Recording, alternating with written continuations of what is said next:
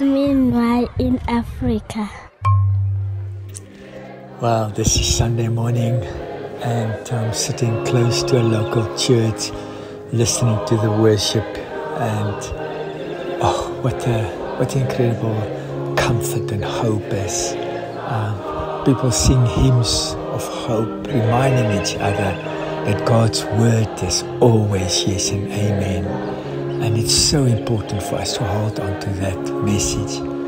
Yesterday, Bindu and I went to Katembe very early in the morning on our motorbikes on the mountains. I mean, we sat in the back of the motorbikes. and it was a particular horrendous trip because as we started climbing the mountain, we were just engulfed by mist and soft rain. But we made it safely, and we had a third motorbike with us with a huge pile of blankets and mosquito nets. For the first time in history, people brought blankets into Katembe. And I tell you, we watching that grandmothers and those widows coming and receiving their blankets, holding onto them as if it was the most precious, precious thing they've ever seen.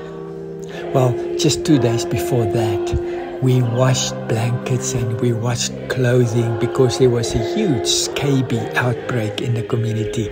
And you could treat the children's skins, but you also have to wash everything. And when we were hanging the blankets up in the trees to dry, I could see right through them. They were so thin. And so I understood, I understood the preciousness of these grandmothers holding onto these blankets, knowing that tonight they will sleep warm. But it wasn't the highlight of my day as much as I loved it. No, I, I met Mahoro that morning, six years old.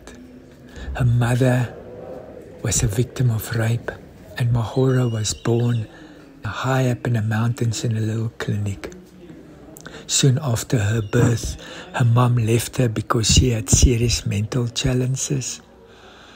Mahoro was left to die until uh, a good Samaritan in the community, who's already looking after many other children, picked her up. As Mahoro stood next to me, she was just a bit higher than my knee and I was told she was six years old. I stretched my hand out and I touched Mahoro's hand, and her eyes told me so much.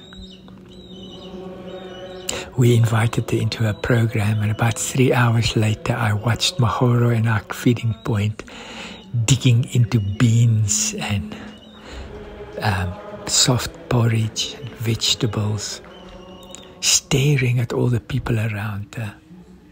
Her life literally changed within minutes.